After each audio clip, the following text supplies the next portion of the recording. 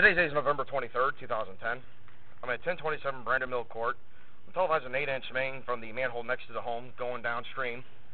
I'm already at the next downstream manhole.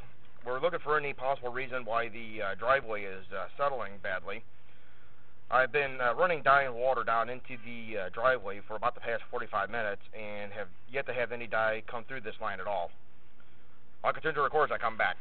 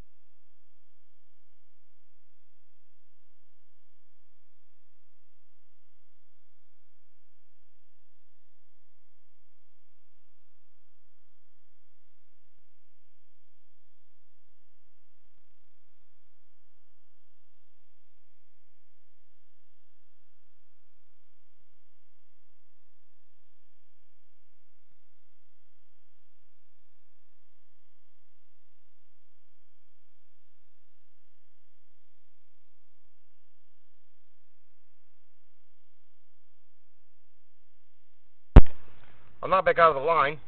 This concludes the videotaping of this sewer.